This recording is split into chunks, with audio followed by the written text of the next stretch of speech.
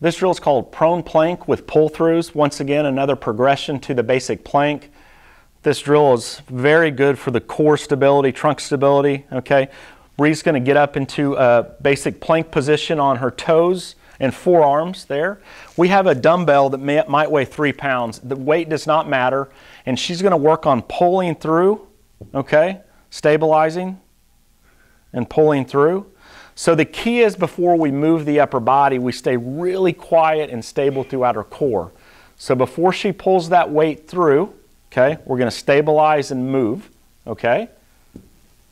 So back and forth, staying very stable throughout the trunk and the core. This is called prone plank pull-throughs, another great drill to develop core strength and stability.